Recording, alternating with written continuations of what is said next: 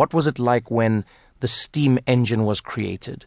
What was it like when, you know, the telephone was created? All these moments where all of a sudden you were able to do in ways that you never imagined possible. One of the key reasons why we're doing this podcast is to remind people to engage their creativity, engage their imagination, to think about what is possible. Doesn't matter how hard it seems, we have to do this anyway, and it is possible, in fact, to win. We need dreamers and we need people saying what is possible. We clearly have gone beyond what many people thought possible. It turns out that it has been more possible. Leading edge, cusp of what's possible. It's possible. Possible. Possible. Possible. Possible. Possible. Possible. Possible.